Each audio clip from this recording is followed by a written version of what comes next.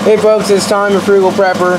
So I'm out here in the garage and I've been working with another YouTuber that put a video up on this uh, Hantek scope that I have. Just trying to play around with it and see what I can make this cheap scope do for me.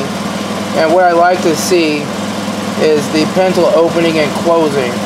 So I've got my um, injector uh, back probe over here and I've got my amp clamp on this wire so the blue waveform is my current waveform. Right, and so it should have a slow ramp up and we see that it does. But you should see a little dip in here, I believe, which is going to be your pintle opening, which I'm thinking is right around in this area probably. It's just hard to make out. It seems like I'm getting too much noise to really see it. Now this is my voltage on the control side.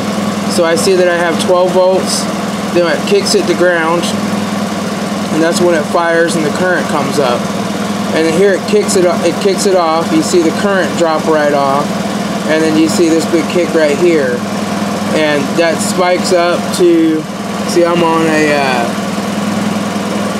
let me see the channel one. How many volts am I on on channel one? So channel one is 10 volts per division.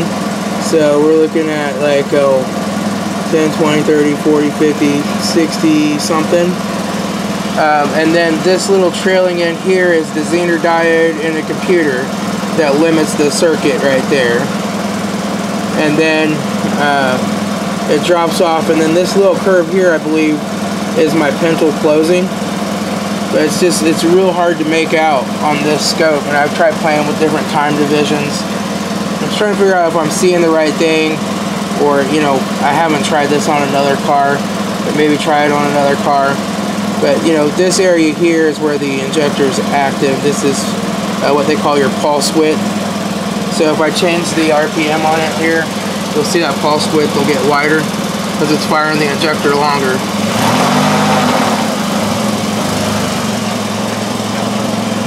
Um,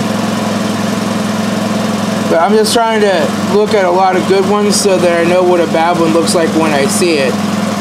And I think it's just Right in here is my pintle opening, and right here is my pintle closing. It's just not real clear with so much noise on this guy. Um, I've tried to get my wires and stuff up away from the engine and ignition as much as possible, kind of hanging stuff up. Um, I did have a battery charger on here, but I have it disconnected right now. So I'm just running off of whatever the alternator is putting out at the moment. But uh, I did also try something I saw on Scanner Danner's video which was taking the fuse that feeds that uh, fuel control circuit and putting the amp clamp on that. And he said it should still trigger and you should see it. But there's got to be way more stuff running off of that than the fuel injectors because I can't get a clear picture at all that way. So I still want to play with that some more too. Because that might be handier because like in this case I had to peel some of the electric tape stuff and, and, and wrapping back to get to the wire. So if I'm testing somebody's car it'd be easier to put a a uh, jumper in the fuse and get it that way. But let's still figure that out. So anyway, that's what I'm up to. Just learning my tools and my equipment and figuring out what I can do with this Hantek scope. It's not a Pico scope. There's probably a lot of stuff it won't do.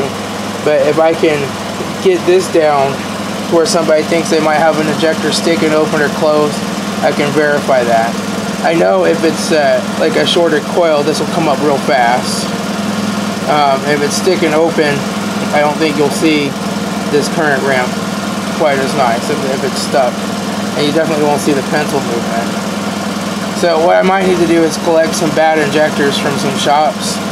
Just, I would ask them to save them for me. But I would need bad injectors for this car or some car that I have. I don't know. Because I guess I'd have to put it in here and actually run it to see it. But uh, just interesting. I also want to get one of the old throttle body injected cars that have the other style injector where you see two peaks. Been watching Scanner Danner's video on that. Just trying to just trying to figure it out and learn. Anyway, I'll talk to y'all later. It's Tom, your Frugal Prepper.